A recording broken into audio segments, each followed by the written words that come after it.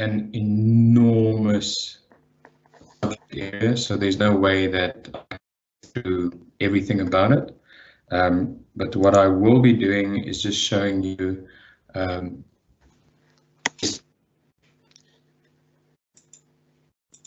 some demos, just the things that I think are interesting. So firstly, um, when you talk about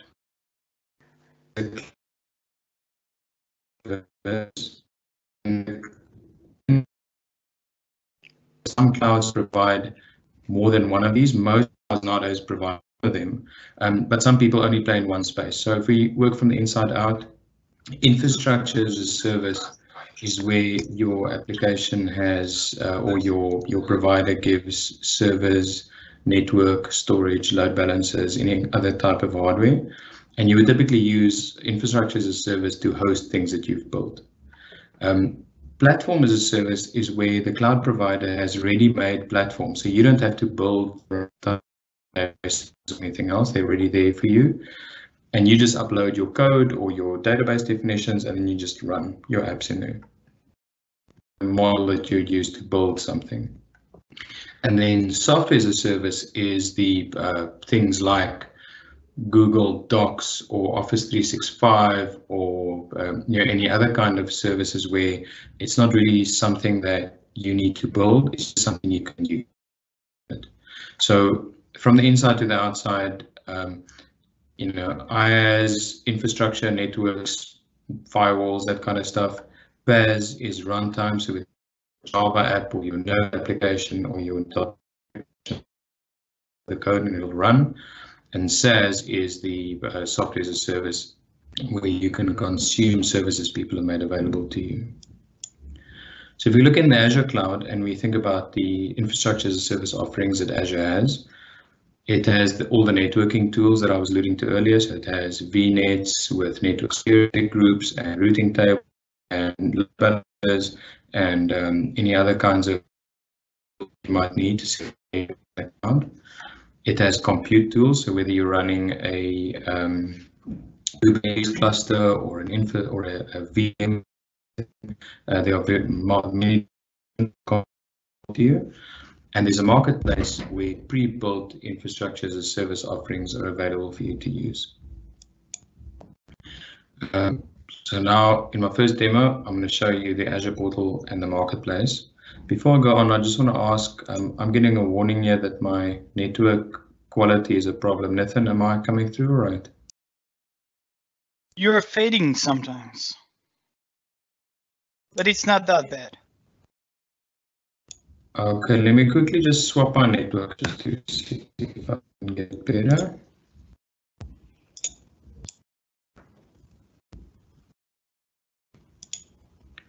All right, can you still hear me? Yes. Uh, can you still hear me, Benin? Am I back? I can. Yes, I hear you. Great, thank you. Okay, so for demo one, I'm going to show you the Azure portal and the marketplace. So here I go to Azure. Uh, this is the Microsoft Azure portal. When you log in to Azure, you have to give it a user identity.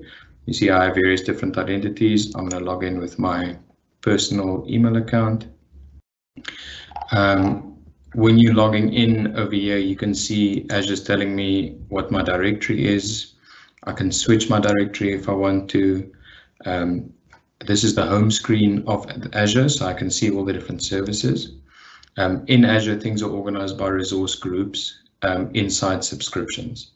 So if I click onto subscriptions, you'll see um, here's my own pay-as-you-go subscription. Um, I'm an account admin, and at the moment I've spent 56 cents on my um, on my subscription. So this is also an interesting demo in that I've done I did some stuff last night as a test to create some machine learning stuff, and um, you know I ran some training jobs and everything, and that all cost 56 cents. I suppose this is a, a demonstration that the cloud you know, isn't very expensive to use if you're careful about what you create. The the turnaround on that is that the cloud can cost a lot of money if you're not careful about what you create. So you do have to be careful with what you provision and how you do it. Microsoft offers free Azure subscriptions. So if you hit uh, portal.azure.com, you can easily create a free subscription. They'll give you a $200 credit fee to play around. Uh, and that's a very good way to, to get familiar with the Azure cloud. So here, that's my subscription, that's its name, that's my role in it. Inside my subscription, I have multiple resource groups. Resource groups are containers that Microsoft uses to group all the resources in the um, in the portal, and I'll go through these in a little while to show you the various different aspects of the um, the cloud. The other thing I want to show you is the marketplace. So if I go create a new resource in Azure, I get this marketplace that has stacks and stacks of different things. So if I want to deploy a Cisco cloud services router, for example, there's one there I can just deploy. And what, what would happen then is Cisco has created an image. It's sitting in Microsoft's image category or image uh, catalog, excuse me. And when I create that uh, item, um, Azure will spin up a VM and will deploy the software that's in the image into that VM for me. So it's all pre-done, all pre-configured. And you'll see Ubuntu has uh, uh, server images available. These are PaaS things, the web app and the SQL. We'll get into them in a little while. Yes, Kubernetes for for Microsoft's um, implementation of Kubernetes. There's a storage account which I'll show you, and you can create DevOps projects. And then if you want something specific, you can search in it for yourself. Like if I want Databricks, search, and then it'll find me everything with that word in its description, right? So this is how you can spin up things if you want to use pre-configured solutions from other people in the marketplace. That covers demo one, the portal and the marketplace. Um, when you look at the Azure PaaS offerings, remember that's platform as a service or things you use to build applications. Uh, Microsoft has uh, the, probably the key service that most things use is the storage account, and that's a place where you can upload data. Um, or you can attach a content delivery network on top of the storage account so you can serve web pages and JavaScript files and images or any other thing. You can spin up an Azure SQL database, you can spin up a web app, and there's a whole machine learning platform. Um, so rather than just tell you about it, I thought I would show you. So demo two will be me showing you the storage account, the web app, the Cloud SQL, and Cosmos. I don't think I'm going to show you Cosmos, actually, I'll just show you where it lives. So you go back to Azure. You, Yesterday, just, I, just, just a second Yes. before that, maybe uh, can you share the URL for questions? I've pasted it into the chat. If you can just open it on the yeah, screen for a few moments Mhm. so the people can have at least some kind of a form for feedback. Just just open it into a notepad or something. Yeah so that's the url for questions. You can submit a indefinite number of questions. It's Mm. it's http bit.ly lk dash ask. There is a small form where you can fill in with questions and I'll try to monitor if are new questions coming. And on over a period of time, I will interrupt whoever is speaking just to see if we can answer those questions. It's a small form of questions. Next time, I promise we'll do better. At the moment, this is like a temporary solution for the attendees to ask questions. Thank you very much, Berlin. Um, maybe also just as a note for the attendees, these URLs are, are uh, case sensitive, so make sure that you put uppercase LK and lowercase ask. Are they really? Yeah, I found out, uh, unfortunately, by uh, giving the wrong link out once on a tweet. Interesting. I didn't know that. Thanks. Uh, th- that's me. Maybe we can, uh, after you are done, we can show that URL once again on the Yeah. screen just for the I'll attendees. Put it at the bottom, yeah. Thanks. Thanks, Berlin. All right, so I was going to show you the storage account, the web app, and the SQL database. So if I go back into um, the portal, something that I, okay, well, let's, let's start beginning. So if we look at our, um, sorry, I don't think this is the right one. Get my resource groups. Yeah, so here's a, um, a demo of the storage account itself. So what I did to create this little storage account here is I logged in and I clicked add and I searched for storage account.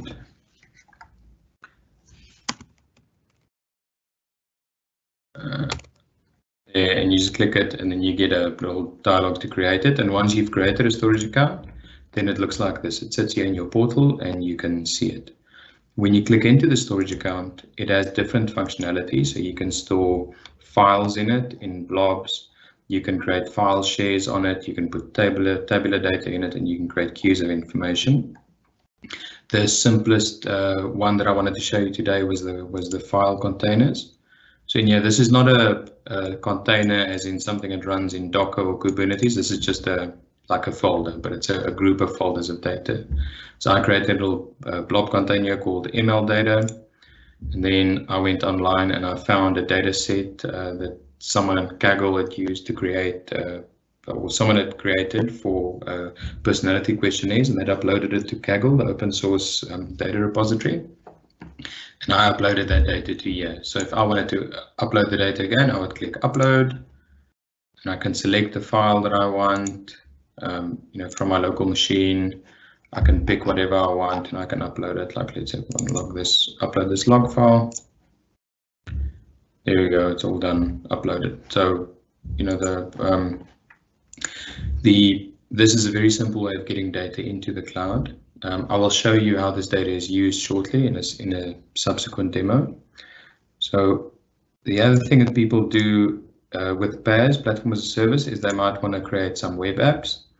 And again, um, that's as simple as clicking add, typing web application,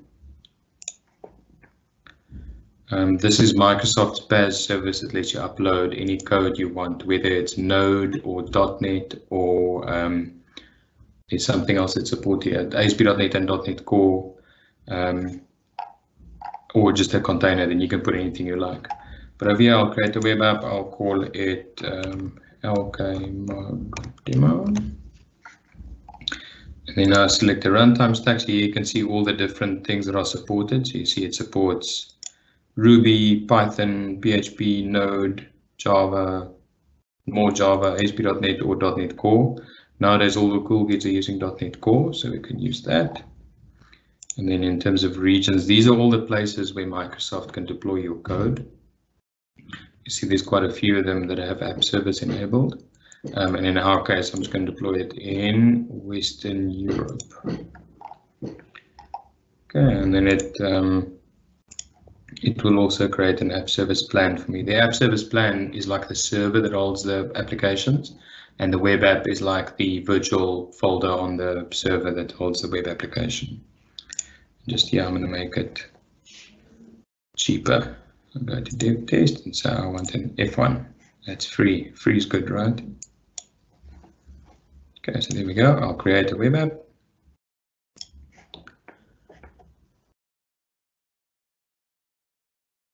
And while this is running, I'll show you the SQL. So the other thing that you can do with Platform as a Service in the Azure Cloud is you can create databases. So if you go here to SQL, choose Azure SQL, create a SQL database. Um, and you have many choices here. There's these things get more or less complicated based on what you want to do.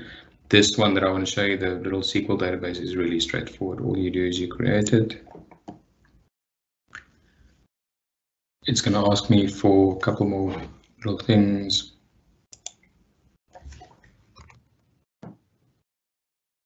Test, I'll create a new server for it.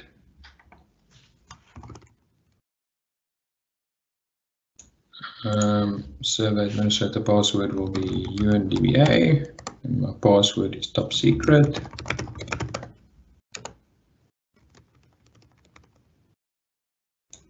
And I'll put it in Western Europe or not.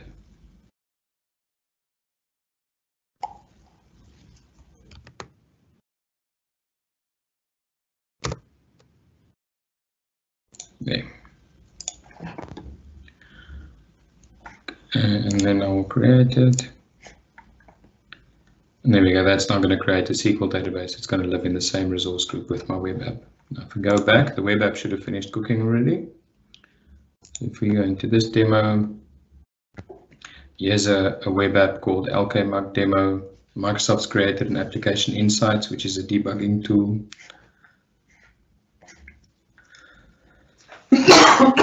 Excuse me. Uh, if we click into it. So this is now a web application where you can do all kinds of things and depending on the platform you can upload your code into it. And once uh, the code is here, it will be accessible on this URL. So Microsoft ships a default uh, application. Yes, if I click into it, uh, you'll see it'll open a new This is a new web app that's running at that URL that I typed in. So once I upload code here, that code will actually change um, and it will allow me, you know, it'll run that code when someone hits the web app. So this is a, a really, really easy way of creating a web application. Um, you'll see there's you get all kinds of metrics out the box. So to to do all of this, you know, I didn't have to go and set up a server farm. I didn't have to go and buy Windows licenses. I didn't have to install and configure Internet Information Services or Tomcat or whatever other web server you wanted to use. It's all just done for me. And that's why I'm such a big fan of PaaS because it lets you get to value quicker. Now, you're not trying to figure out how to set up a web app. You've got your web app. All you need to do is deploy your code. So my database is finished. And over here in my little database, I can log into my query editor. Uh, oops.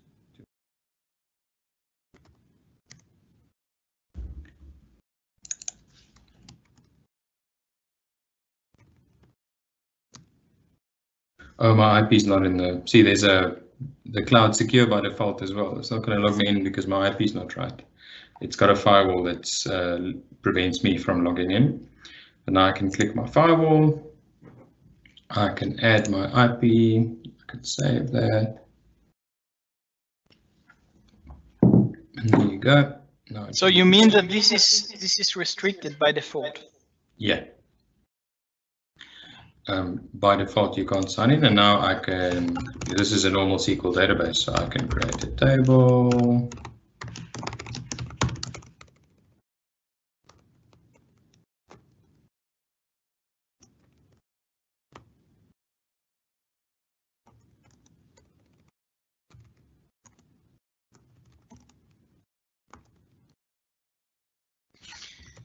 But Joon, what you've just did is you've created a SQL server with just clicking here and there without the need to redeploy a server, install it, download five gigabytes of server, have the proper machines to make it run and all these things. It was just deployed into the cloud, right? Exactly, yeah. Um, and you can see here the table that I created is showing up here and any other SQL that you need to run, you know, if you want to use the um, entity framework to create against the database, all that stuff's already there and, you know, you can just use it. So I think, yeah. Mm -hmm. go ahead, Valim. I'll tell you my experience in the past, like five years ago. We had to download the on-premise SQL server which is five gigabytes, then install it, then decide what features to install, then decide what uh, system accounts to set up, what data schemas to set up. And it was a journey like I had to spend maybe half a day or even a day to create just my development database. We're not talking about uh, shared, uh, sharded databases or replicas of databases, different nodes. Just to make it work on a developer machine, it was taking me like half a day. And now with just the clicking of a few buttons, we can spin it up and start working on it. Right. Yeah, exactly. And what's really, really cool about it is that this database has everything you might need to pass audit requirements and be able to deal with sensitive data. All the tools are here for you. Um, of course, you shouldn't be putting sensitive data in the cloud without going through a, a, you know a lockdown process of making sure that your account is properly controlled. But the toolbox is here and you don't have to install or configure anything. Microsoft gives you the advanced data security tools with your, um, your SQL. You can change the size of your database very easily. Um, if you want to make your application, uh, if you want to make your database be able to deal with more uh, resources, you basically just click in here and you go, oh, I don't want two cores anymore. I want 80 cores, or I don't want to deal with 32 gigs anymore. I want to deal with uh, many, many more pieces of information. so you see the. Um, um, so you can scale on the fly, like while your business is growing.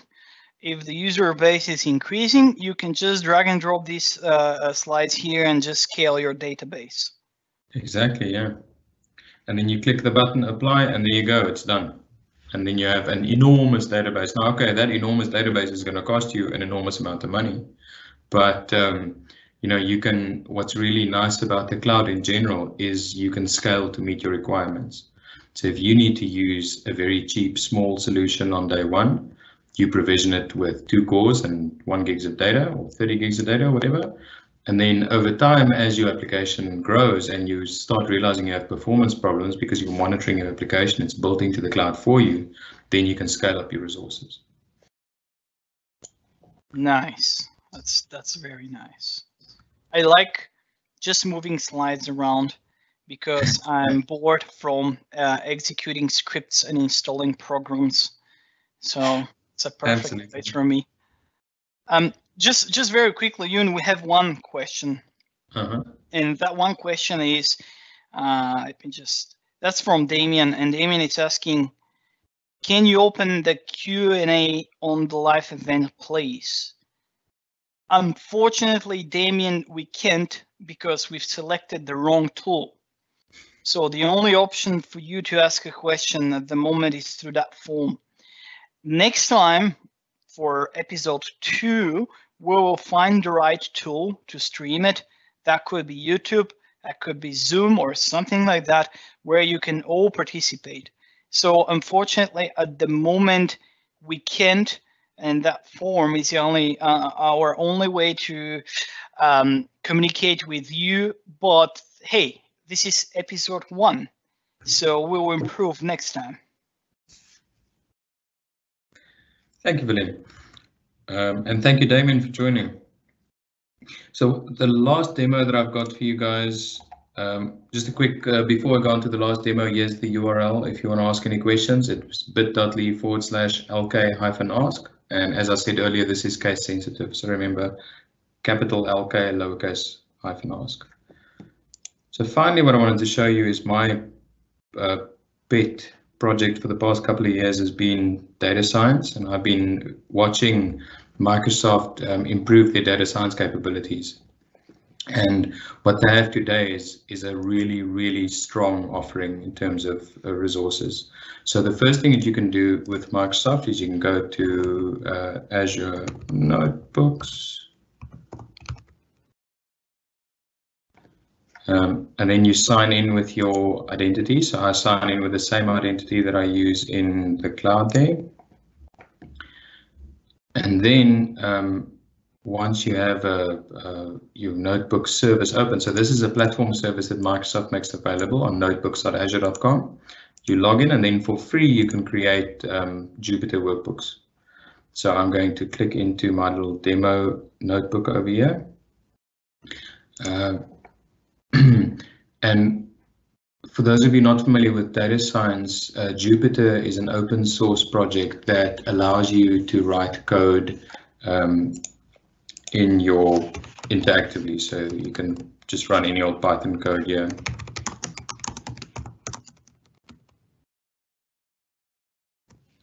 Run that, just waking up a kernel here because what Jupyter does is behind the scenes, it runs a, a Python kernel and you can write all your Python code in notebooks like these, and you can test them out really easily.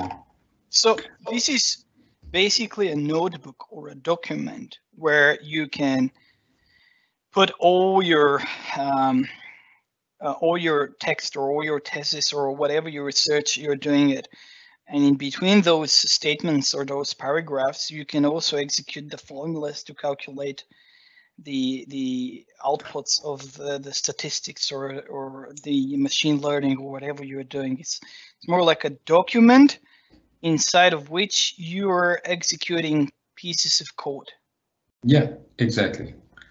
Um, and remember earlier I showed you a, a storage account called Data. I see here I'm actually reading data from that uh, storage account. I'm reading the personality data. And because it's a storage account and the, the access is controlled, I use something called a SAS token. That's all this gobbledygook at the end here. It's just telling Azure that it's a known person accessing the file. So now I've loaded that um, file into something called pandas. And pandas is a very commonly used um, data uh, manipulation tool in Python. And then down here, I'm using matplotlib to create a little graph of data. So over here, I'm doing a cross tabulation of the answers to question EXT6 and EXT7. So if you go up here, EXT6 is I have little to say, and 7 is I talk to a lot of different people at parties. So I thought it'd be interesting to see what's the, when someone has said uh, they are a zero on this one, what would they say they are on that one? Um, and what was interesting, I mean, I thought there'd be a very clear trend here where, you know, the two are negatively correlated. So when one goes high, the other one goes lower. But it, it turns out that that's not really how it works. Like there's uh, most people said, I talked to lots of people at parties, at two. And also a lot of them said, I have little to say, at two. So people are you know, not as simple as five and one and zero and everything. So here's just, this is an example of just a simple little thing. I've used free tools from Microsoft. These notebooks are free. It doesn't cost me a cent. My um, storage account over here holds a little bit of data. Um, sorry, demo storage. I've got my data in here. It costs a couple of cents. You know, and I can do interesting data science problems in my notebooks. But but isn't there a charge from the compute because I can load a huge data set here and try you to can't you can't over here. So Microsoft has locked it down. So you see I'm using free compute. Okay. And the free compute has got a very small uh, memory footprint. Um, the data Is it set a limit on the CPU hours? Let's say you have 200 CPU hours after your that after that you can't run that note uh, notebook. That's a good question. I, I haven't actually looked into it. I suspect not. I suspect that they're just using free compute and that it doesn't cost them much. But equally, when you're doing data science stuff, often you have to deal with large data sets and you can't use a large data set on this tool as it stands. What you can do is you can um, create, well, I'll show you now the, the um, so you can click project settings, I believe and you can set up extra stuff. Okay, let's not get into that. But uh, you know, uh, let me just very quickly interrupt you again. I'm sorry about that. Uh, so Damien is saying that he's a Teams admin for a living, and the producer just can enable Q&A for Teams. That is supposed to be a button or icon or something in the top right. Like Nithin, you are the admin at the moment. Uh, can you try to find that Q&A button on the top right and just just enable it? Maybe we should invite Damien for episode two to show us how to use Teams. what do you think about that? That's yeah so i verified that so unfortunately i think it's a policy that we need to set up uh, and that may not immediately reflect here in the, the window. So right now I can't see any any option to turn the Q&A. So we will uh, have to set it up when we schedule that live event, I think. So right. since I already scheduled, I cannot edit it as well. So for um, probably in the later sessions, we can manage that way. Right now we can continue this. Okay, so we'll yeah. we'll make sure, like yeah. Damien and everyone that is on the call, yeah. we will make sure that we have that enabled for the next session. Uh, sorry for all the inconvenience. Uh, all so probably we'll have this is a stepping stone for uh, baby steps for us to, to, use the teams live right so we but, will uh, but it's a good learning yeah yeah it's it's a good learning exercise maybe what I've said is we can invite Damien next time yeah. so he can yeah. show us how to apply policies in Teams, how to go yeah. do governance in Teams, and how to enable Q and A. yeah, oh. definitely. All right. Now the last thing that I wanted to show you guys today is so these notebooks, they've been around for a long time and they are sort of the de facto standard that people use for data science. And you can work in here and you can use all kinds of machine learning libraries and Microsoft uh, has some available too, but the open source community has millions of different tools for you. And you can save these the notebooks and you can share them with each other and that all works fine. But what Microsoft has realized is that the, the machine learning area is very complicated and very large and they need to get the tooling better for people. So they've built this new um, machine learning studio that I'm now going to show you. Um, it's in preview at the moment, but I'm I'm very excited about this. I think it's a it's a massive step forward in terms of the what you can do and how things work. And uh, is that something to do with the old machine learning studio? Yes, it's an iteration. It's an improvement of the of the previous one. But the the big thing they've done here is they've given you um, the ability. So notebooks, like I was showing you earlier, you can run notebooks from here. But over here, you can provision your own compute. So you can give the notebook an enormous machine, so you can wrangle those big data uh, data sets in here. The thing that is super interesting for me is something called automated machine learning. So what I did is that file that's in in my storage account, I created it here as a data set.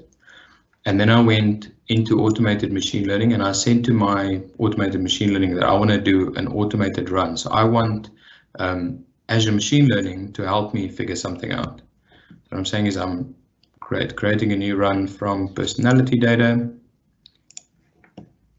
I want to try and predict, uh, let's call it a demo.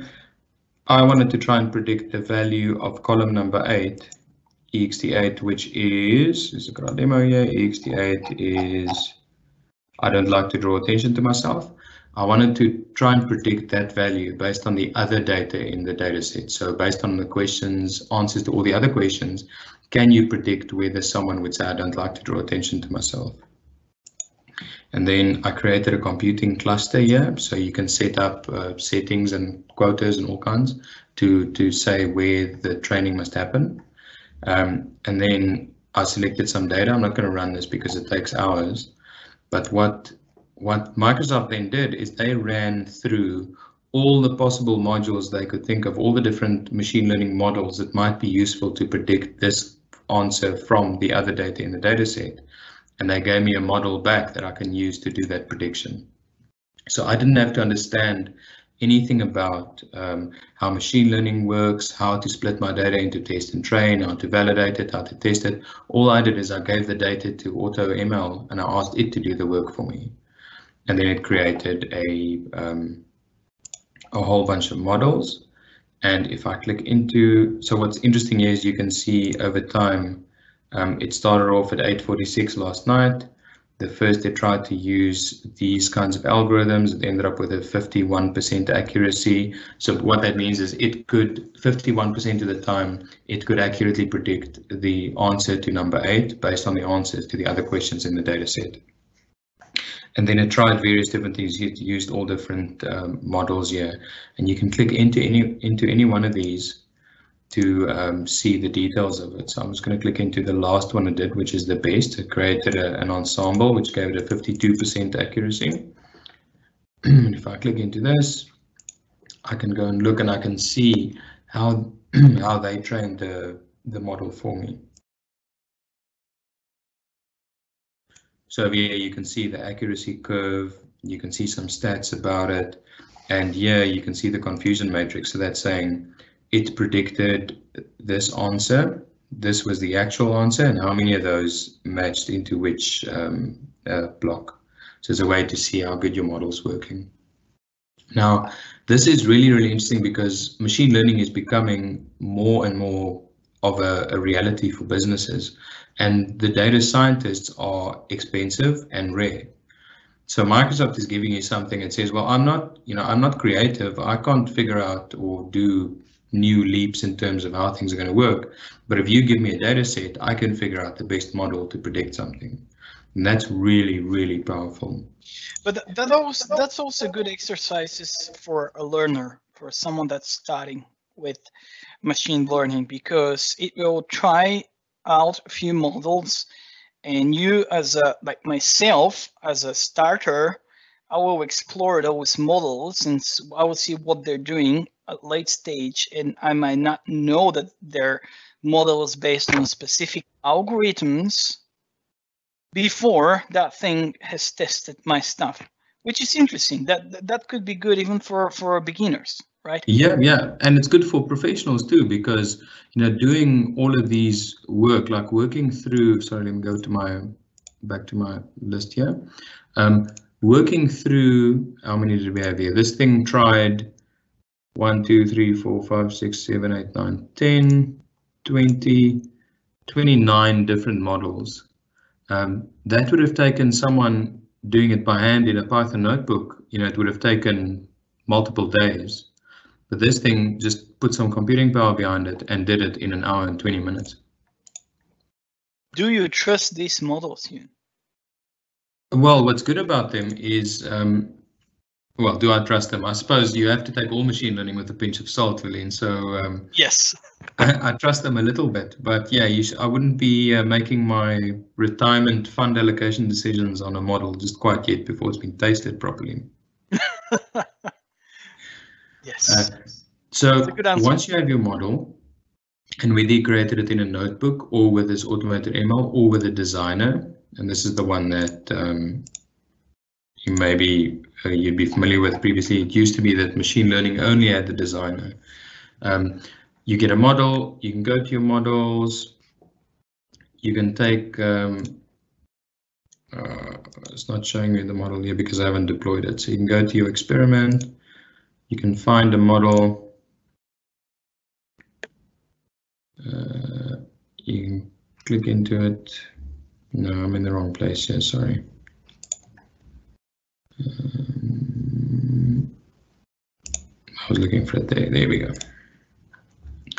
So you find you find your best model and you can deploy it. And now Microsoft will make that model available in an API.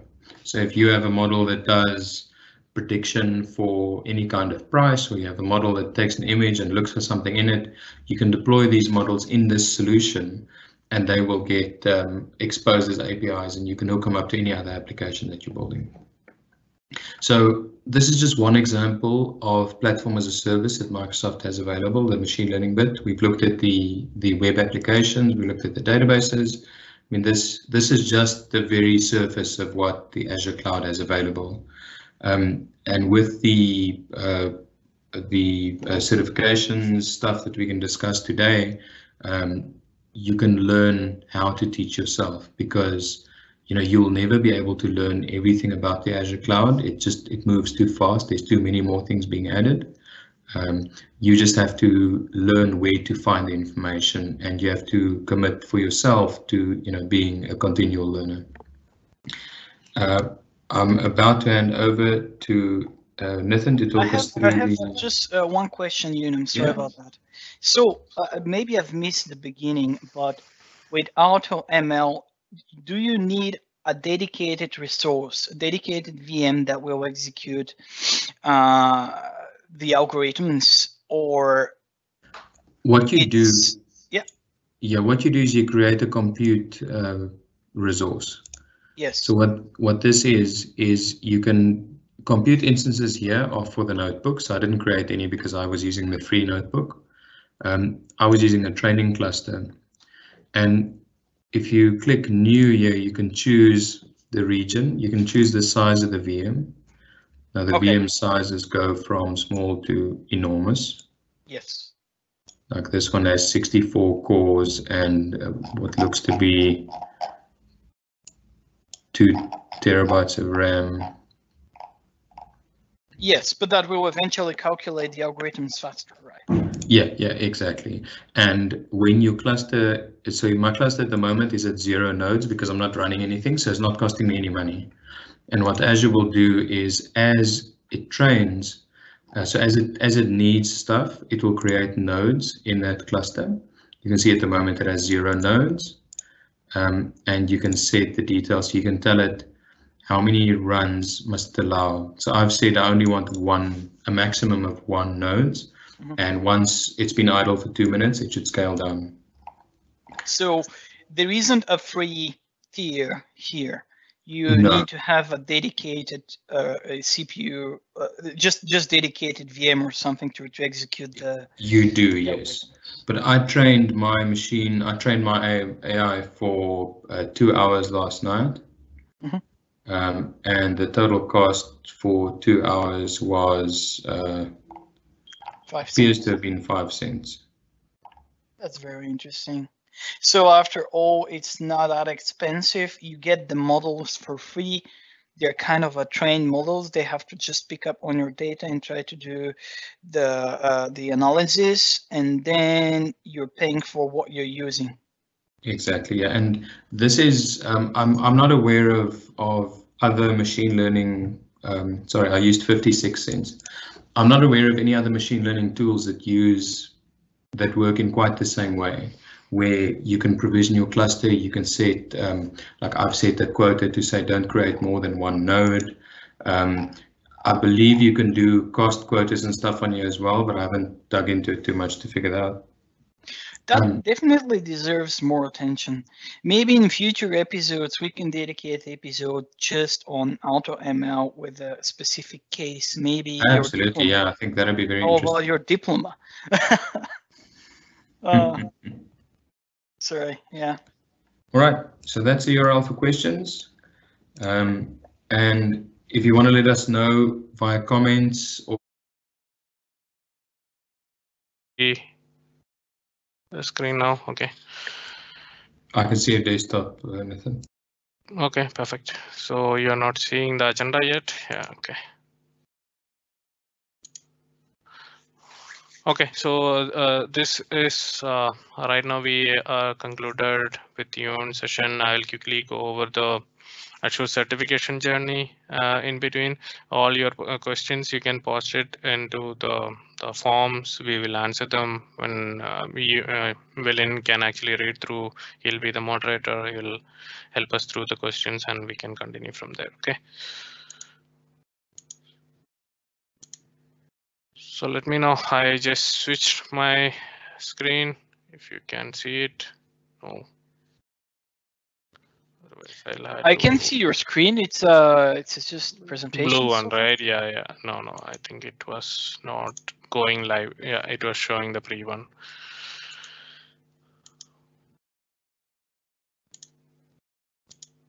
Okay, so we are starting now then, yeah. So, uh, thank you all for joining the sessions. Um, uh, so sorry for all the the hiccups. Okay, so um, we will have more interesting sessions in the future. So I'll uh, give an overview of the Microsoft uh, training and uh, certification that would uh, uh, start with the Microsoft Learn uh, that I will cover later. First, I will go over the certifications, your different paths if you are interested in Microsoft technologies and what what are the options for available for you, and then probably we'll go over the Q and A's. Okay. If you have been a developer for quite a long time, uh, you, you would know about these certifications or if this would be a more guidance for the people who are moving into Azure or who are trying to get some understanding about the Azure. So the table, uh, the agenda would be around, we will give a little overview of the certifications. We will uh, high level overview, then we will cover about what are the certifications available uh, uh, for, for application and infrastructure, then uh, data and AI, modern workspace, uh, business application. So this is how the right now the Microsoft certification uh, have been categorized uh, uh, uh, into different buckets. So one is uh, applications infrastructure, then the other one is the data and AI. Uh, Third one is the modern workspace and uh, business applications, and we'll give you some resources where you can learn them as well. So, uh, so, okay, so I'll go to the next one. So why do you uh, want to get certified? So what are the benefits of uh, getting an IT certification for you or your employer? So, so ideally it helps both um, uh, an individual and companies uh, if their developers or their um, uh, infrastructure people get certified uh, by uh, for a certain IT uh, um, uh, skills, right? What what it gives is in the industry, they, it will give you a competitive advantage. As an individual, it will give you um, uh, more chances to get hired then you will get uh, uh, you will get more chances to get promoted it will also help you in terms of job retention um, where um, it, it, your your job uh, employer says that okay you need to achieve these certifications to um, um, as part of the professional or corporate requirements to maintain the the uh, the people. Then uh, it also helps you build a professional uh, credibility. It, uh, it will give you an, an opportunity to evaluate yourself on a particular technology. And then that gives you a credibility for yourself. It also helps you with uh, uh, increasing the efficiency uh, because uh, uh, you will be learning about the new and current technologies while you are trying to attend these certifications, right? So if, for example, if you are looking at the Microsoft um, Azure related certifications, it's keep on changing every two years. That means when and the, as as the Microsoft um, uh, Azure platform evolves, right? So the new technology or the new services comes into new PaaS services, new Services, then uh, the, the developers or the IT professional needs to get updated to those uh, specific uh, areas. So you you can keep on uh, following this certification path and that would uh, give you an opportunity to evaluate yourself in a, a, certain period of time. So then um, these new certifications are valid for two years. So that that would uh, give you an opportunity to renew after two years. So then again, you have to learn new things and renew. Then uh, it will also give you an uh, overview of uh, best practices that have been put together uh, by um, the learning participants in the, in the Microsoft uh, certifications. And third thing is it uh, uh, it increases your uh, earning potential. It's all about money right? So as an individual you want to earn more money or salary. So then uh, as per the global market study so the certifications has uh, provided um, uh, developers a 20 to 40 percent increase in their salaries especially in the the uh, Um, US and uh, um, uh, European markets. And uh, the, as a company, uh, if I, if I'm a services or um, a company uh, services company, or if if I need to win the confidence of the customer, so if I have certain number of people been certified with certain technology, um, then that would actually attract more customers to us, us and it would help the companies in winning the new businesses. The the, uh, the four thing would be your personal uh, uh, uh, thing that is you are enhancing your knowledge, right? So you want to uh, enhance your uh, knowledge and skills as of a personal goal or the organization or business goal needs you to enhance your knowledge and skills, then the, uh, the certification would provide you that journey. So to summarize what I've heard so far is you can attend, uh, you can book certificate, you can go on the exam, you can pass the exam. Yeah. That will give you extra confidence. Yeah. That will give your employer extra confidence working with you, or your clients extra confidence yeah. working with you, and that might uh, increase your salary eventually if you negotiate properly because certificate itself will not increase anything and because you've learned something new it's as i've said more confidence which is which yeah. is nice yeah thanks Philip. okay so we'll go ahead to the next so this uh, is the, the right now the, how the certifications in uh, Microsoft uh, been aligned. Uh, for example, there are uh, there is a learning path for you. There are role-based uh, um, certification uh, credentials that are available to you. The if you uh, look at the bottom level, right, that's the fundamentals where you uh, that would these certifications would give you foundational understanding of the technology. For example, uh, you want to uh, get to know about the Azure fundamentals, what what is a subscription billing or uh, uh, different services available, uh, those kind of basic knowledge that would as a business stakeholder or something if you want to know about these different um, uh, capabilities available, then you need you can go for these fundamentals. But if you are a developer or an um, administrator or an IT pro uh, or a data scientist or a security engineer or even the modern uh, 365 um, uh, uh, administrator, you can go with uh, your respective associate uh, level certifications. Or if you are going further above, so if you are a DevOps engineer, uh, it's the more demanding job in the market right now. And if you are a solution architect, so if you want, then you have an expert level certification. So, so you will move from the bottom to up, and this foundation um, and is more of an uh, uh, optional uh, thing.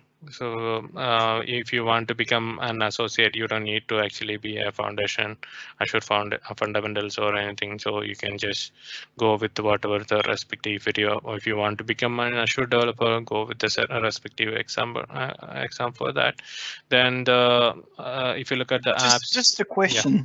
Yeah. So the fundamentals path Mm -hmm. is separate yeah. from the associate path and you don't need to do the fundamentals. You just yeah. can go ahead and do the associate paths. Yes. Is that correct? Yes, it's not about, a requirement. About, yeah. Yes.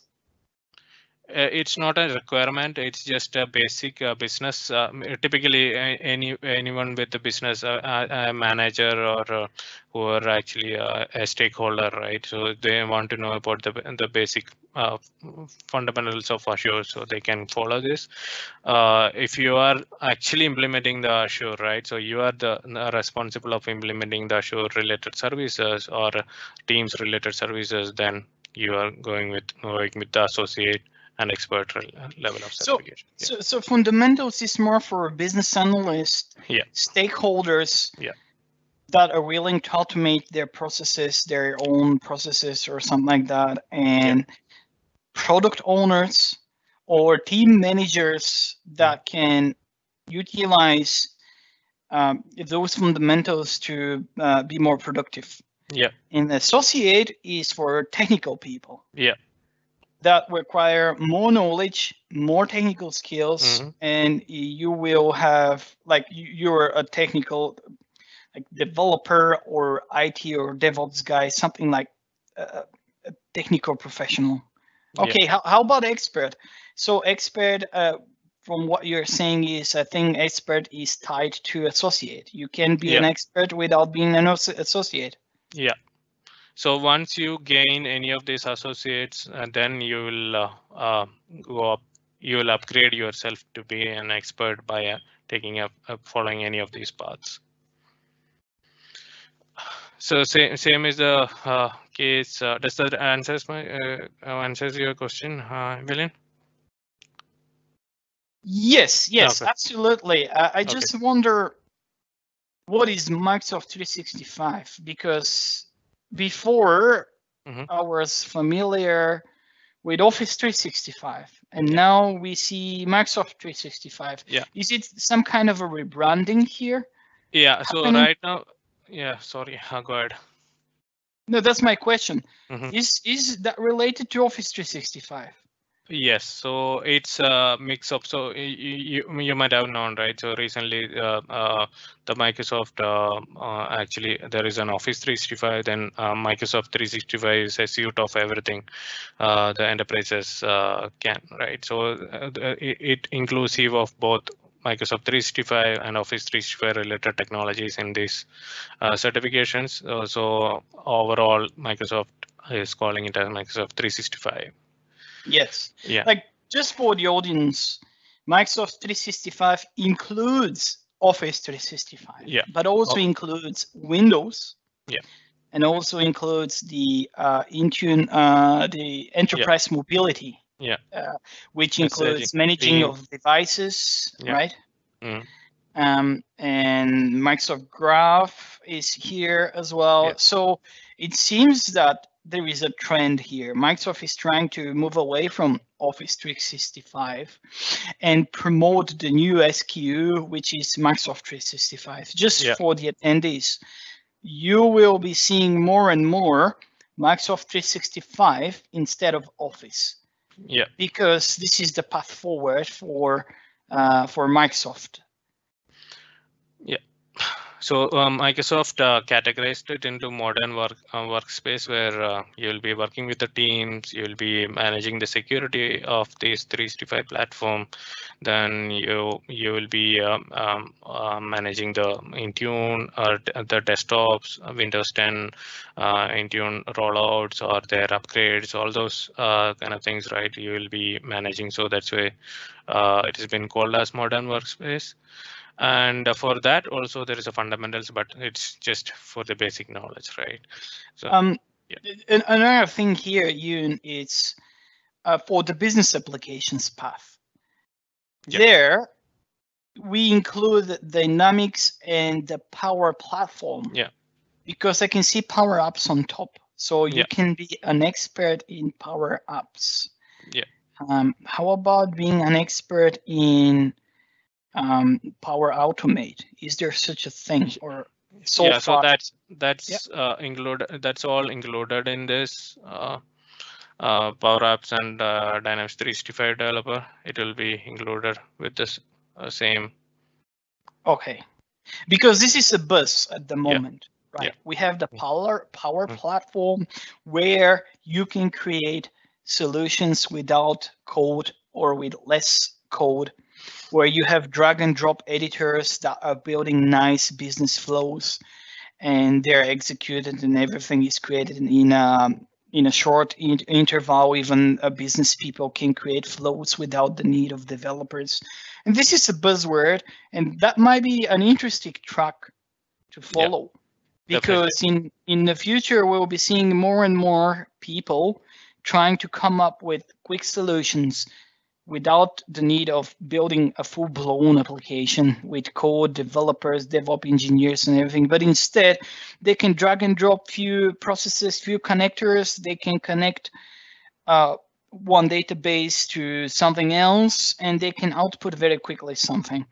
Uh, and maybe we can dedicate an episode on the Power Platform as well, because this is a very interesting topic. yeah Recently, I had to help uh, a guys, a guy that uh, had to build a learning system, learning and reward system.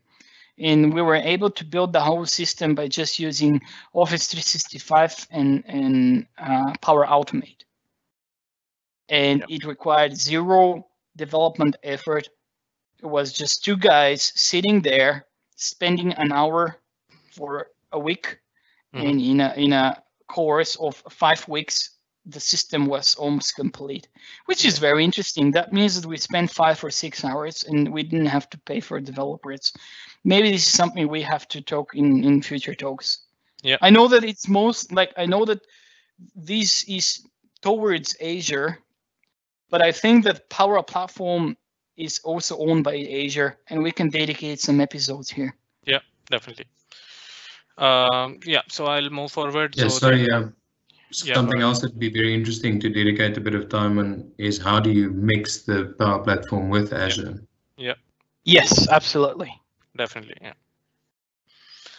okay thanks Joon. Uh, thanks uh, William for your input uh, so then uh, if you look at here right so the the things uh, these exams are in beta so that's why I marked in the star so for example this uh, solution architect the power platform fundamentals that became public recently uh, and Microsoft 365 developer is Yeah. not in beta since yesterday as well. Yeah, so it is also moved uh, to public. Yeah, the Teams administrator was in beta. It's also moved. So uh, then uh, the other things. So these are all uh, the different um, category or the or the the the uh, certification specific to specific applications right? Now you have a if you if you have earned these certifications right you have a, a option uh, to actually um, earn a specific specialty right? So that's where you have uh, you can prove your deep technical skills um, uh, using uh, any of these exams. So right now there are two exams uh, being available. One is called Azure for SAP workload. So if you want to um, uh, execute the SAP workloads in Azure, right? So you can follow that career path. Or if you want to use Azure IoT uh, uh, as an IoT engineer or an embedded engineer, if you are going to use uh, Azure IoT uh, for developing your cutting edge technologies, right? So you can go for this Azure IoT uh, developer. So that these are all in um, beta, so that can continue.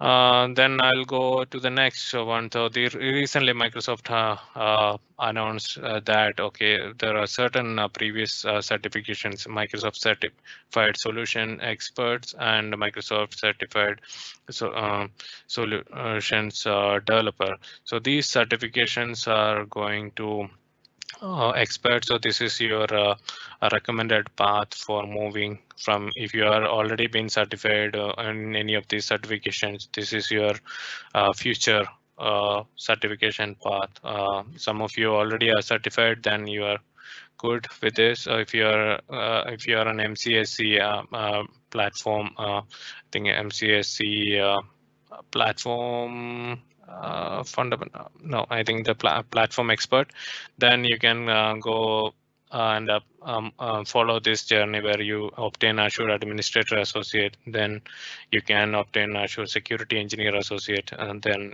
you can go with an Azure Architect Expert if you are an IT architect. Then if you are uh, uh, if you have some certifications on MCSE productivity, there you will go with this teams administrator associate messaging administrator security administrator associate. If you are uh, actually working on data and analytics and you had some previous microsoft mcse data management analytics certification then you can go with this um, azure database administrator associate so this is an uh, exam that is coming soon. Then there is a data analyst associate. So in coming months you might see a beta available and uh, you can enroll for that as well. Then azure data engineer engineer associate, Azure AI engineer associate, data scientist associate. These are all already available for you to take up. And if you are certified as an app builder, like MCSD app builder, uh, where you worked with the ASP.NET, ASP.NET MVC, and the .NET framework, right? So then you, uh, the option for you is to become an Azure developer associate that will cover some of the the .NET core and .NET Framework related as well. Then if you if you had an uh, MCSE business applications uh, certifications, then that's where you will move into the new exams where uh, finance, um, Dynamics 365, uh, fi uh, finance uh, consultant associate or supply chain management, um, those kind of exams. Okay. Uh, any questions on this uh, so far, William? Nothing. I'm keen on the data analyst uh, certificates, yeah. but let's see how it goes. Yeah, uh, sure. Uh, yeah, so that's uh, on a on a. Uh, so now we'll. Um, I think uh, we cover, like, just yeah. just very quickly, Nithin. What is the average price of a certificate? Okay, so typically um, it's uh, depending upon uh, the the the play and the play uh, the place you are taking up the exam. Okay, so uh, if you are uh, taking a simple fundamentals exam, then it is on 99 if in the European uh, Union region, and if it is any of this administrator, developer, security, and those right. So this I think administrator is 99 um, but we, we, can find these exa- um, the the cost by. No, I just interested yeah. roughly.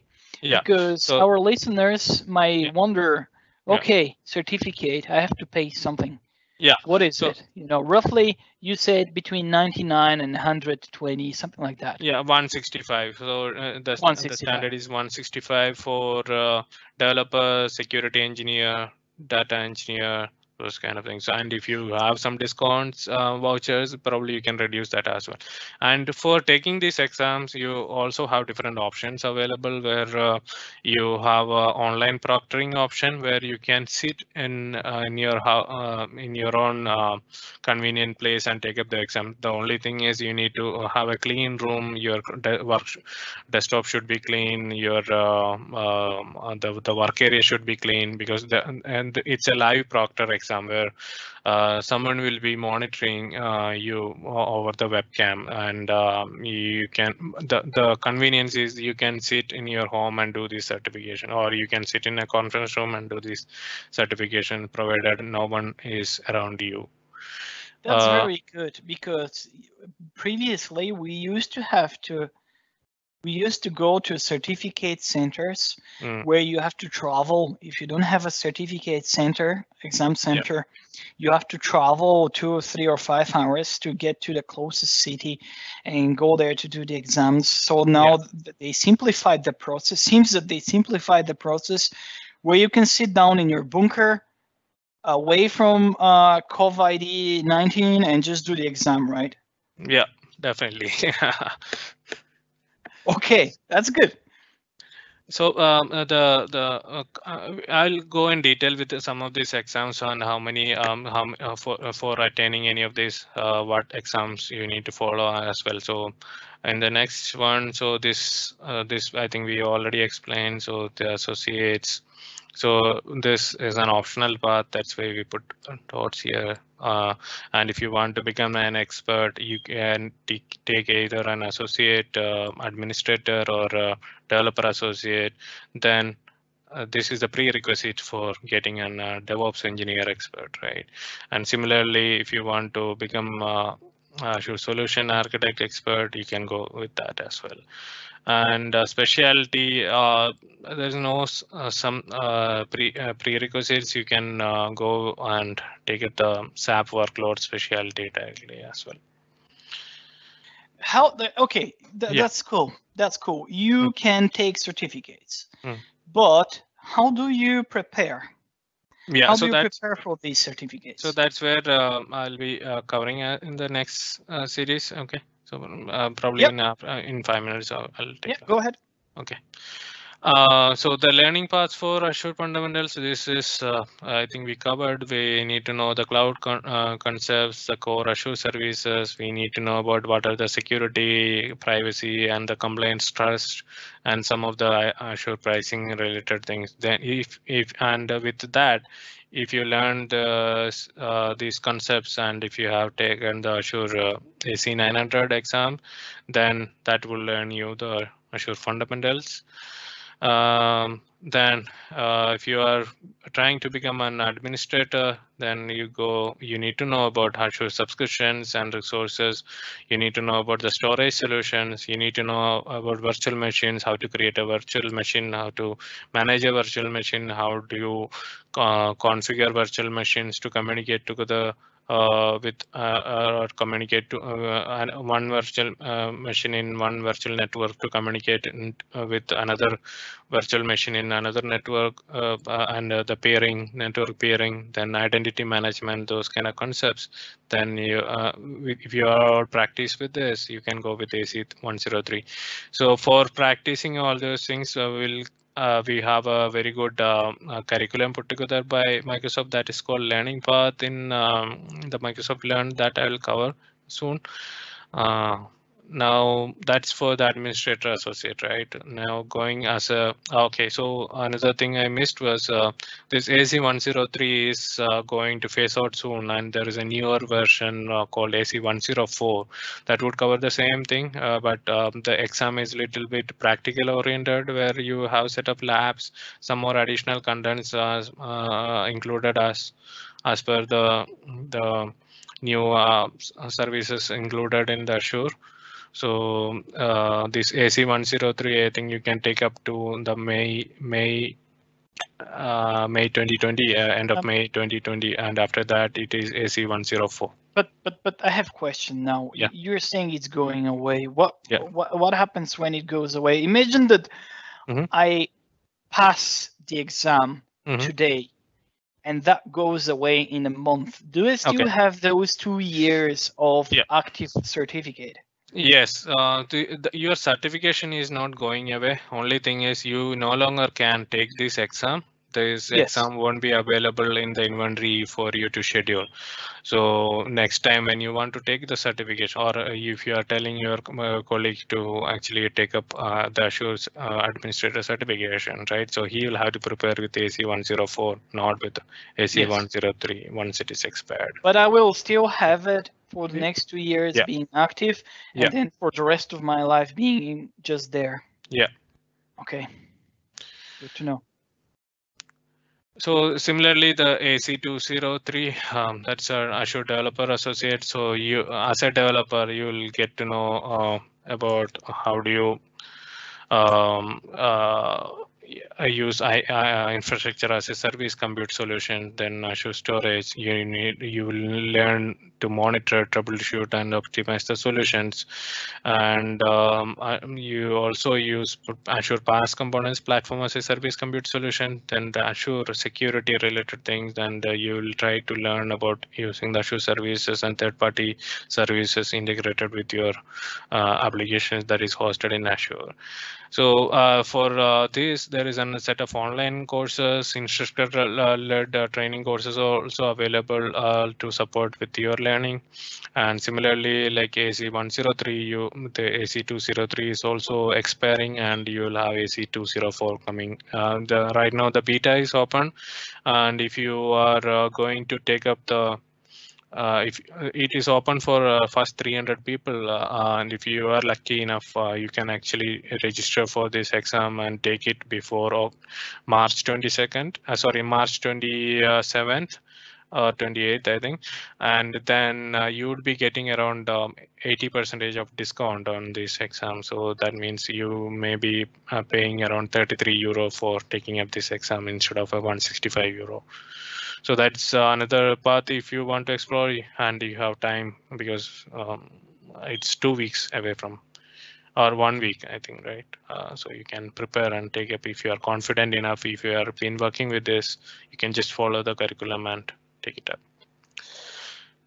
Okay so the, the other thing is the Azure security engineer where you as a security engineer, right, you will be managing the Azure security, where you will be managing the Active Directory, and uh, you'll be managing the and the, the platform, uh, setting up the protection uh, um, and uh, security around it, and the data and applications, uh, those kind of things. Then you can go for the AZ500 um, Microsoft Azure uh, security technologies. This ex- exam is not going away. Only the AC developer, administrator, and on uh, the uh, the expert level, the the uh, architect level exams are uh, expiring, and you will be getting a newer version. On this exam is going to stay there for some time. Yeah. I have a question. Maybe we can Google that and put it here next time. But what is the average salary of a security engineer? Okay. That should be a very high. Uh, yeah, definitely. So uh, as a security engineer, that's a, that's a key role, right? In any of uh, any of the the company, uh, because uh, uh, uh, he, he is responsible for managing the the whole infrastructure security and uh, setting up or um, setting up the access uh, threat uh, protection and uh, everything, right? So then that's a, that that's a very niche. Uh, uh, role, right? Yes. And, uh, So yeah. if I get my certificates, Mhm. I can go and get more money. Definitely. yeah, that's depending I'm upon- going for that one. yeah, yeah, definitely. yeah, that's again uh, depending on how do you market yourself, right? So Yes. that's a, that's a, Absolutely. mm. Okay, so I'll uh, quickly uh, show uh, two more slides and then uh, uh, give an overview of how to use the Azure Learn and all those things. Uh, then the Azure DevOps engineer, right? So that's the expert level certification. Um, that's where you need to have a prerequisite, like we discussed. We you have an administrator or developer associate, then you can go with the Azure uh, DevOps engineer. So you need to know about dependency management, application structure, how to set up the continuous feedback. Um, the, these are all integrating the continu uh, continuous integration, continuous de uh, delivery using the Azure DevOps platform. So uh, if you have all those knowledge and if you are trying to gain that knowledge, you set up a DevOps strategy who are all can uh, commit to the uh, the repo, how to set up the, the policy of a repo, uh, how to manage the pull requests, how to uh, create a build release pipeline, how you can uh, uh push this code for uh, uh, for deployment, all those, how to configure the deployment to Azure, all those knowledge would provide you with uh, Azure AZ400, uh, Microsoft Azure DevOps solution. So the key is you need to have administrator or developer associate. Then you need to have some experience playing around with Azure DevOps. Then you can go with this.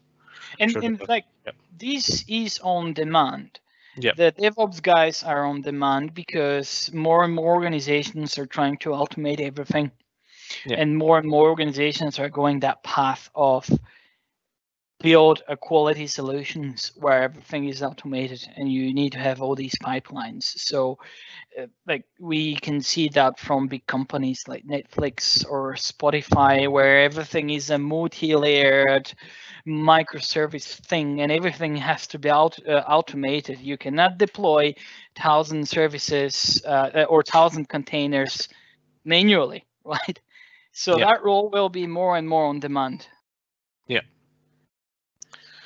Okay, so uh, uh, yeah, so the DevOps is a key, um, a key, right? Uh, it's a, it's a, one of the top paid jobs uh, apart from an architect. So then that's having a certification, DevOps engineer certification adds value to your job, yeah, as well as your profile. Okay, so we'll go with uh, the last on this, um, the Azure uh, Solutions Architect Expert. So this is the the highest uh, certification in Azure where uh, you can actually uh, use you can you can learn to configure the infrastructure you can uh, learn uh, you, you, have the knowledge on workload security uh, authentication secure, uh, secure data solutions uh, solutions for cloud and uh, sure. And you also have the ability to analyze the workload requirements. You also have the knowledge on identity and security the business continuity strategy infrastructure strategy if you and you you as a as an architect will be able to de design or uh, the end-to-end -end solutions using the Azure, then you can actually uh, go for this certifications. So there are two exams for this. One is AZ300, and uh, that's where the Microsoft Azure Architect technologies, where you will configure the core infrastructure and the related technologies. And uh, AZ301 Microsoft Azure Architect Design, that's where you will design the the, the infrastructure and uh, the related uh, Just things. for information, AZ301 will retire in a yeah. few months as well in flavor of another yeah. one. Yeah, so AZ300 and AZ, AZ301 respectively uh, are expiring and uh, there is AZ303 and 304 that are getting replaced. 303 is the uh, Microsoft Azure Architect Technologies. The new exam AZ304 is the uh, Microsoft Azure Architect uh, uh, design exam. So once you complete these exams, they each cost 165 euro. That goes uh, puts you into 330 euro, and that would gain give you gain you this certification. That's a highest certification and you must pass both these exams to achieve this certification. Okay, so that's uh, so far. So then SAP workload is basically AZ120 that would uh, give you SAP workload uh, specialty and AZ220 that's uh, Azure IoT uh, specific that I, ha I haven't mentioned here. Okay, but AZ220 is the exam for Azure IoT uh, related specialty. Okay, so that's on a high level on the slides. Uh, give me a second. I'm switching over to my browser.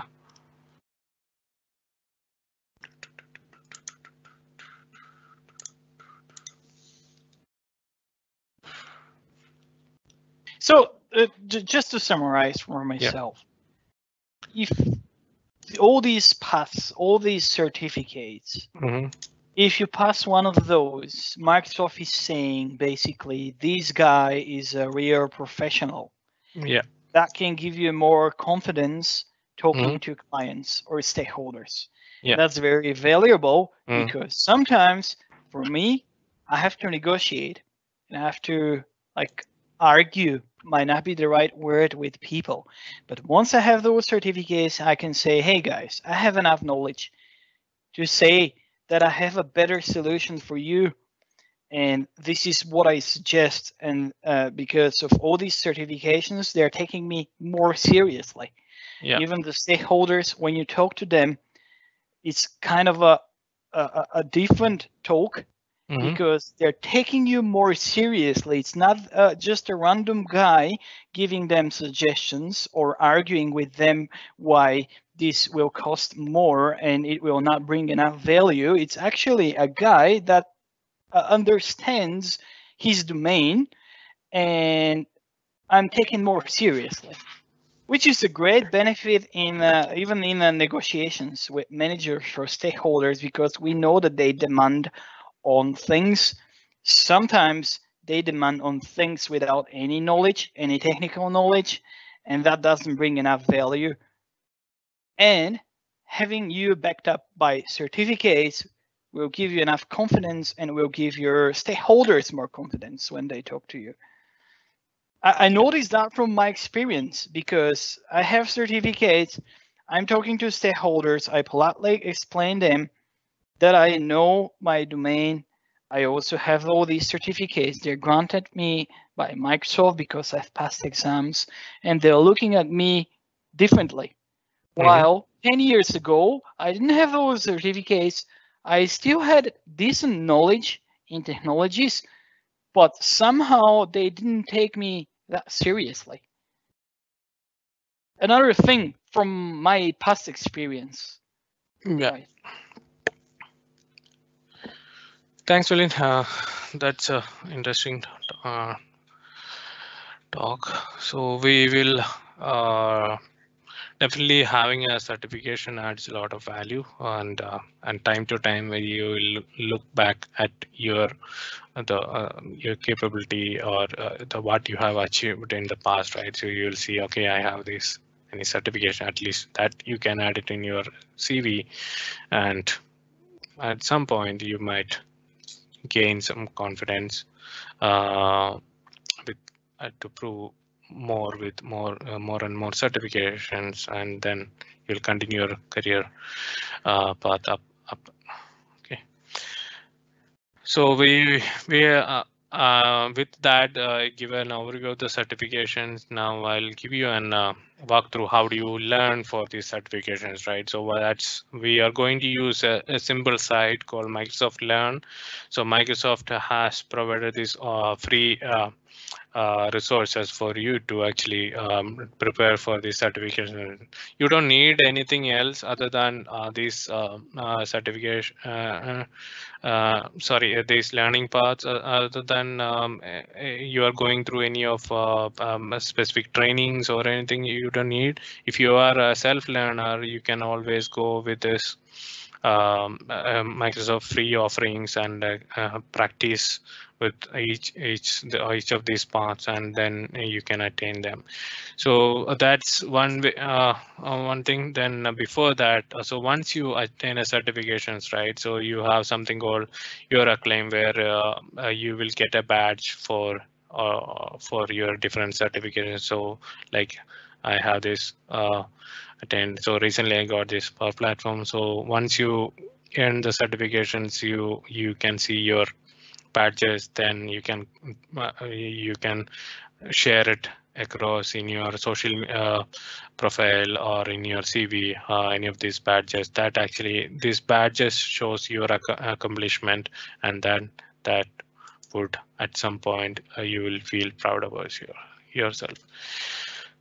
Uh, yeah, so then that's about it. And if you want to learn about these Microsoft certifications, right? So you have these certifications. So my, uh, you will have to go to Microsoft Learning site where you can go with uh, certification exams. Why get certificate? So this is where you will go with and uh, uh, pick up an exam and schedule. So browse on all your exams, or you can pick up whatever highlighted. So here Azure exams is there you can select Azure exams and you are selecting the Azure administrator. Uh, it will show you the details. How do you do the uh, things now? Is there a, is there a section where it says how to prepare for it? Yeah, definitely. So that's what um, I'll show you with this. Uh, that that's in the Microsoft Learn actually. So if you go to the certifications, right? So you will see a, a path for preparation. So, for example, this was on uh, developing a, a, beta exam AZ204. That's right now beta, right? So you can see uh, the exam details. So how to schedule. So if you you can pick up your uh, local. If for for me it is Ireland, then I pick up Ireland. It will show you what's the cost in um, local currency and then you can schedule it. So this is where uh, it will give you an exam outline. Mm, uh, so how to get here is uh, uh, you go to the Microsoft Learn. It has two links here, learning paths and certifications. So the learning paths will give you uh, uh, different options. I'll cover that in, in soon. then certifications will you can go and browse through the certifications. Then once you uh, select one certification exam, you will get to this page where it will show you the details of the exam and details of the certification. Then what are the skills measured in the certification? Then you have the option to download the skill outline that will give you a detailed summary of all the the things uh, involved in that skill outline. Now, then uh, but, but it will I all. can see learning paths below, right? Yeah. So yeah. these So, learning paths, I can take all these learning paths, Yeah. go through all the exercises to boost my uh, knowledge. Yeah. So I potentially have a bigger chance of taking the exam, Yeah. so which this is handy because it's right below the it's right below the certificate, right? Yeah. Yeah. So that's where um, then then the next thing. So there are two ways to uh, prepare. One is if you uh, if you are not okay uh, using an online way, you actually want to sit through a classroom based session and you want to learn, then you will have to go for an instructor led. That's a paid exam um, and then uh, sorry paid um, uh, training where uh, you will have to go through any of these training provider who actually provides the training. The the the free option for whichever I used uh, um, was this online uh, free uh, available as part of the learning path in the the learning. And that gives you for each certification what all uh, topics covered what um, whichever modules you want to um, learn and its progress as well. So once you uh, complete them right? So for example if I, I want to create a serverless application so you can select this learning path and start. So that's where you have the different uh, uh, sections in it. So each section will take you through, uh, for example, uh, choose the best Azure service to automate your business process, right? That will give you an introduction. It will uh, uh, give you an identi- uh, technology options, analyze the decision criteria. Then it will give you the best design first approach to automate. So those kind of things. And that, at, But- and it- yeah, yeah, That will also give you experience. Yeah. Can you can you show that experience badge? Yeah. So I'm I'm leveling up. yeah. Am I? Yeah. So that's where you you you're gaining these points right xp here so at some point you will be uh, going to uh, leveling up so it starts from level one to uh, i don't know the the max level so right now i'm on level nine so that's uh, i have 33000 xp So, it's like a game. Yeah You're moving through the courses, you're learning something, you're preparing yourself for a possible exam, but you're gaining a level. Maybe you can include that level into your CSV, uh, into your CV as well, because this will show how much experience you have. You went through tons of exercises, right? yeah.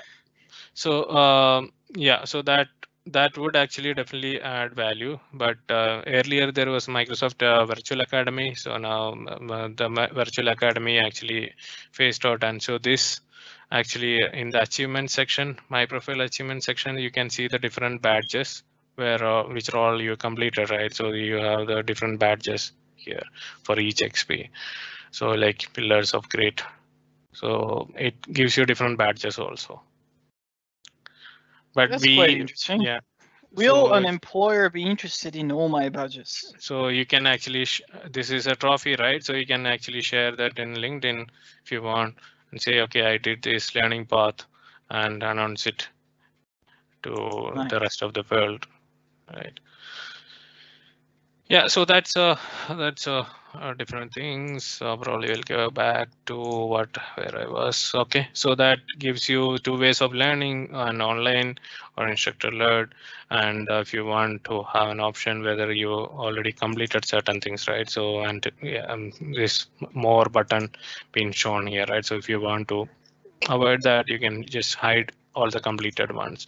And it also shows you how many percentage of each is completed here as well. Okay, so that's uh, one uh, one thing. So if you are less confident uh, that you may fail in the exam or uh, yeah, how, what will happen to my money after uh, I fail the exam, right? So you have an option called exam replay.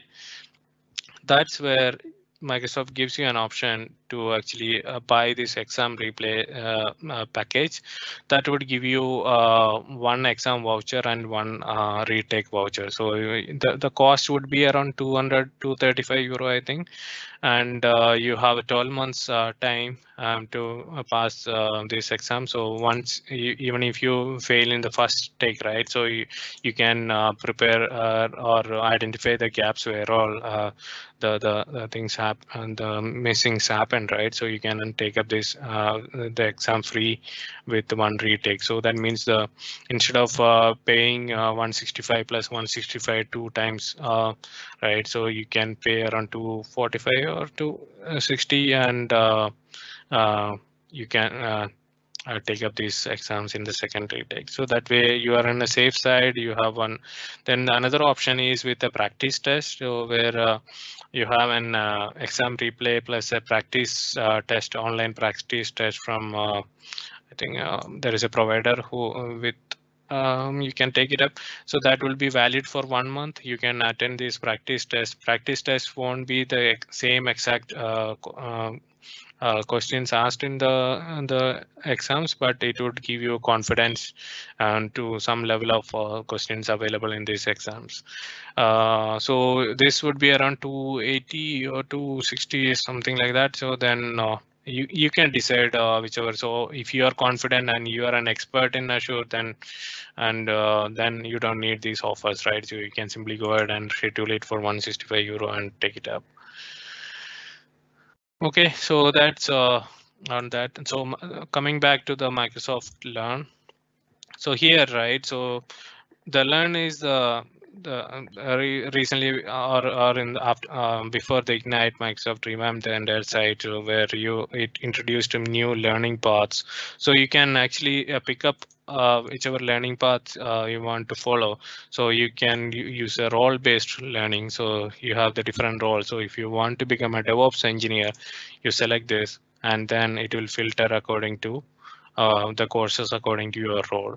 So you have the get started with Azure DevOps and it and then uh, choose agile approach to software development. So these kind of topics, once you you uh, introduction to Docker containers, building applications in Azure DevOps, scan code for vulnerabilities in Azure pipelines.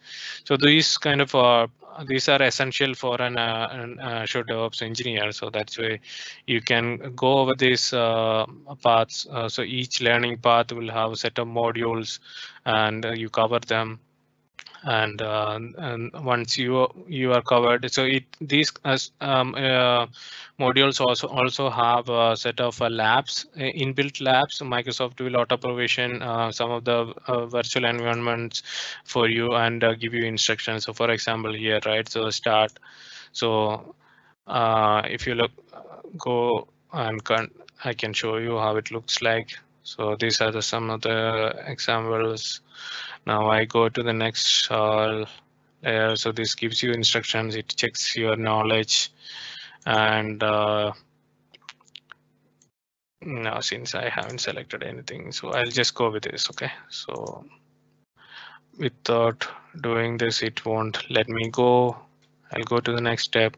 So these are the exercises you can follow, right? So this will give you the instructions how to do it.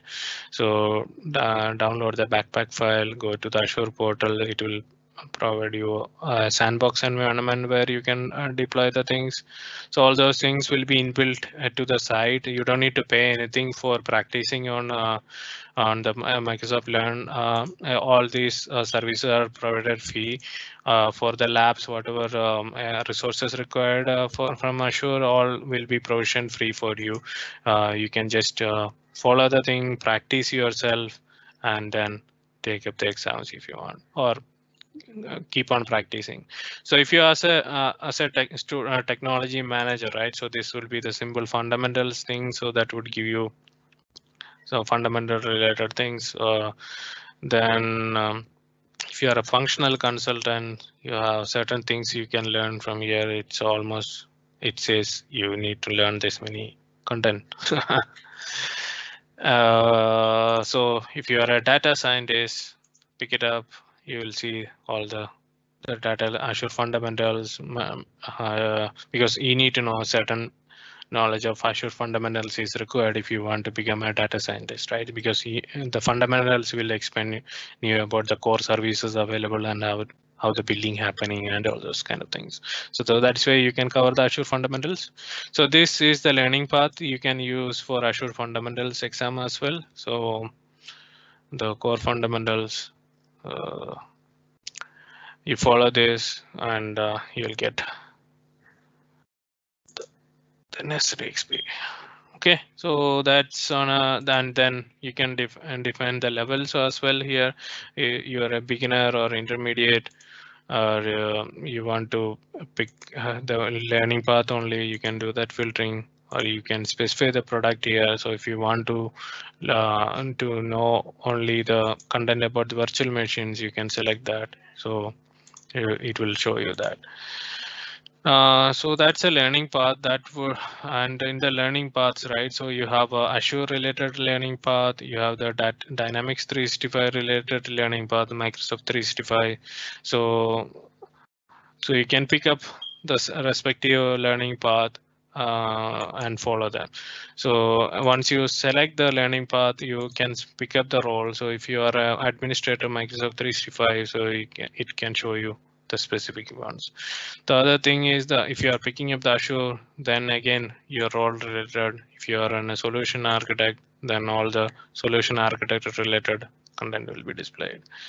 Similarly, Power Platform. So all the Power Platform related content. So you you want to use a you are a business user you want to use power automate business user power automate then these are all uh, right now i think it's in uh, it's not yet published so microsoft is working on preparing these contents. So shortly it will be available for you.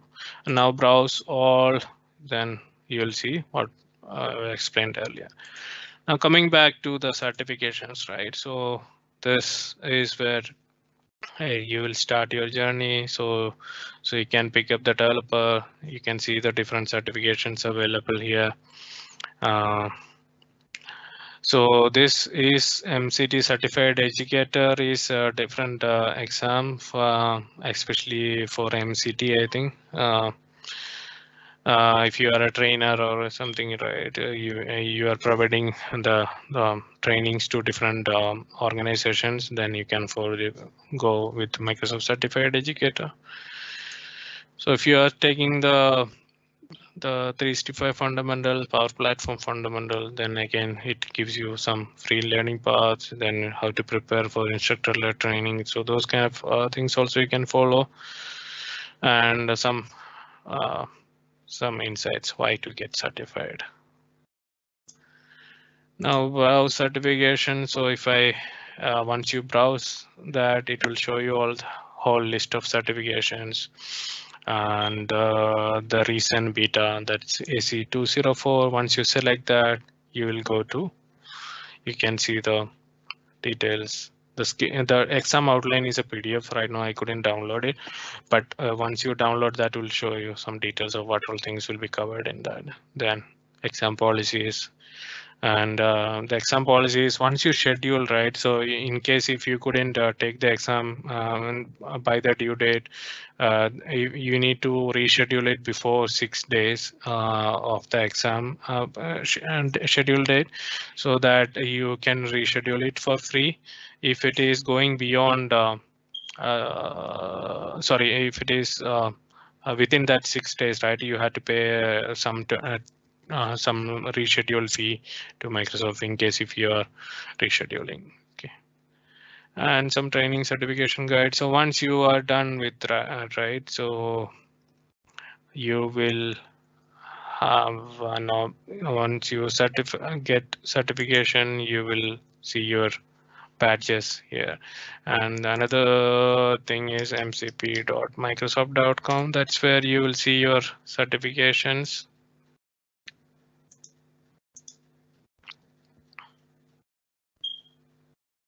Oh, sorry, I'm on the wrong login.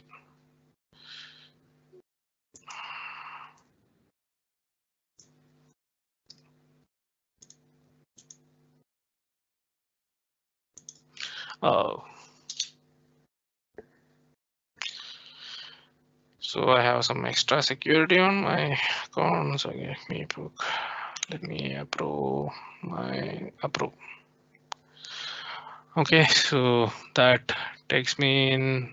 Why is it taking me out? Okay, Nithin, so it's because we're almost at the end of yeah. the, the mm. content. Uh, like, I yeah. see almost everything I need. Mm. I have learning paths. Yeah. I can go select the learning path, then I have to uh, I have the option to take some free uh, preparation exercises there. Not some, but yeah. loads of them. But what you've showed with the filters, mm. that will give me enough information to get started. And yeah. in case I go on an exam, I can take it from home. Mm. In case I fail, uh, optionally, I might have another try. Yeah. Which is nice. So th this is the path for me where you're saying you have all the materials in Microsoft Learning. Mm. You have the certificate paths there. Yeah. Just pick up a path that you Mm. think you can progress on and you think that's something you'll be interested. Go there, build your level up, earn experience, earn badges, have fun. The same way at the end, sweat a bit to get the certificate and then shout out to everyone that you have the certificate right? Because yeah. it's, it's an effort. Which like that's a nice thing because in the past we didn't have that much information especially even for microsoft certificates.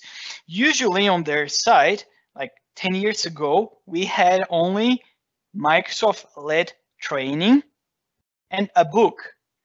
And I remember 10 years ago, the led training was paid and it was not uh, uh, um, it was a big amount of money, much bigger than the exam. Hmm. And the books, they were paid as well. At some point, they've made the books free, but the instructor-led training was still very expensive. Yeah. Now what we are seeing as a trend is you have maybe more free content than instructor-led trainings, yeah, that definitely. puts you in a very sweet spot. That sweet spot is that you can get enough knowledge by just um, completing of uh, all these exercises there. And uh, like if you have gaps, you can try to fill in the gaps by uh, asking uh, friends or whoever has enough experience, even asking us, because we have experience with taking exams so you can even ask the Letterkenny community for advices and how to approach it. And after that, you can try to take the exam, which is great because it's it's not costing that much anymore. It is costing around 120 euro or 150 euro, and after that, you can get that exam, and it's a very nice thing in your CV when you're negotiating, when you're talking to stakeholders, just to have it. And it's a very nice thing for you because you will learn so much through all these exercises and all these preparations and i always find that very very helpful and very useful because i think i know many things but at the end of my preparations i question myself do i really know all like all these new things that i've learned it's such a universe and i have Yeah. Even more questions now around specific technology and i'm even more excited to work with that technology. And it's always like that. It's more like a synergy. You combine your preparations trying to have fun maybe with a glass of wine not more than glass of wine. So uh, and then at some point you have so much more questions because you've learned something and you're about to discover more and more stuff. So it's it's it's very interesting uh, if you approach it like me, because I always, I'm always keen on new technologies, that you end up at the end after the exam with much more knowledge that you can put into practice, put in your daily work. And it's it's interesting that now it's more accessible and costs less. Yeah. Am I eh, like my summary? Is it correct? Yeah, perfectly. Um, uh, that's uh, that that's the real intent, right? So the, of these learning paths provided by Microsoft, because earlier the developers were struggling to actually um, buy these books or attend these trainings. These were all um, now this they give an opportunity for self-study uh, uh, and a lot of resources available for free. And especially if you want, want to uh, do the practicals right you, you need to utilize the azure um, services right? So then you need to pay out of pocket. So these are all things will be a big uh, question for the developers. Now with this uh, environment where you it will provide you a free sandbox for you to practice yourself the the needless you you are going for a certification or not as a developer i can actually learn new things from the microsoft learn. So that's the idea is uh, that's why that's a good thing that microsoft actually brought it up and th- that actually helps a lot of developers. And also the the bit of uh, gamification by introducing the xps and the badges that's really adds value yeah Okay, so uh, that's uh, I'm closing uh, my my part uh, before uh, doing that because Velin has to cover his part as well. So Um, there uh, there there's a there's a QR code. If you are interested, you can scan that. There are some uh, exclusive items for you to actually open it up. And um, if you are going to learn, there are some step-by-step learning guides and everything. And uh, also don't don't forget if you are good on Azure, uh, you just add your Microsoft Azure as a skill in your LinkedIn account so that it is easier for you to get connected with the uh, the more uh, uh, wide Azure developer community and uh, the the uh, there is a the latest announcements and free events uh, uh, for developers happening in Ireland are usually uh, uh, published through official Microsoft uh, Twitter account called uh, at the rate MS Dev IRL. So you can follow on that as well. Uh, Are we going to publish our uh, video from there? Yeah, um, not exactly. Probably we would uh, at some point. yeah. Yeah, so with that, I'm probably uh, wrapping up uh, my uh, session and then over to you, Velin. Yeah, so uh, here is my suggestion because we're at the end, right? Yeah. And there is not enough time. Mhm. I can talk about the Microsoft MVPs next time. Yeah, fine, fine, that's fine. Whoever is attending now, if you can't attend next time, we're recording these sessions and we'll try to publish all these sessions. Yeah. So you're not you're not lost. You you haven't wasted your time waiting for maybe the last thing uh, for the MVPs. Uh, How about we still cover that topic next time? We record it and we publish it for whoever cannot attend because it's it's already late. Like- yeah, I'm fine with that. Um, uh, I think that's good. Yeah, so. We are still trying to come up with the right format Mhm. about the Thursdays. Yeah, yeah, yeah. And in the future episodes, there might be a little chaos until we find the right format for Yeah. all of you guys, um, and find the right tools. And and but in future, we will improve that thing, and we will make it more useful and more accessible for you. The first thing that we are going to do is to somehow find a way to enable Q&A because now we're up to our Q&A time and we have no way to do it. Next time we will have a way to do it. I'm Yeah. very confident in that. How about we ramp up Yeah, just yeah, like sure. that? Uh, Because I- Nithin, you had a really, really brilliant content around certificates.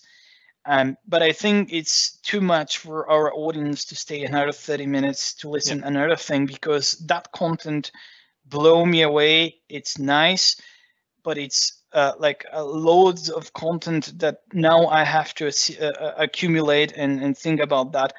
Let's proceed next time with the next topics and see how it goes. Sure. Yeah, I'm fine with that. Uh, probably we'll wrap up uh, uh, then. Yeah, so uh, I'm looking at the forms. We don't have any more questions at the Okay. moment into the forms. Yeah. Um, but it's I'm glad that we had at least two questions there. That Mm. means the people were interested, right? That's the Yeah. first episode. So I'm very positive. Yeah, so we will uh, we will keep uh, continuing this uh, series so that uh, uh, because this uh, is an series that is happening across um, Europe and in US, although so uh, we as a community we are trying to uh, do it first in Ireland and uh, probably uh, um, there are hiccups, uh, right? Especially when we use a new technology. So that's probably we'll overcome that. We know that um, we should have enabled that moderated Q and A uh, when scheduled the meeting. So that's where the the gap happened. We'll uh, we'll rectify that. And Um, yeah, we have a YouTube channel. Yeah. We can use the YouTube channel to perhaps publish Yeah. the videos there. Yeah. What What do you think? Maybe in future we can try to stream from the YouTube channel because the YouTube channel is a Letterkenny uh, community group channel. Yeah. Yeah, Yeah. so uh, um, probably we um, what we can do is uh, you can continue following uh, uh, our site uh, called lkmug.org. That we will keep all the links in this site and all our new events and everything will be updated here. So we are not updating frequently, but going forward, we will publish all our events and all the the videos, uh, links, and everything will be published here. Okay, so Uh, can you. Nithin, can you share the link for the form again? Yeah. Uh, the link is somewhere in the chat because if there are folks that have feedback, they can still submit that form. That form is anonymous. Yeah. So you can say you guys suck, that was waste of time, or you can say that was helpful, I learned something. That form is still there. And maybe perhaps we'll keep that form for the future in case you someone wants to give us feedback anonymously. LK, what was the?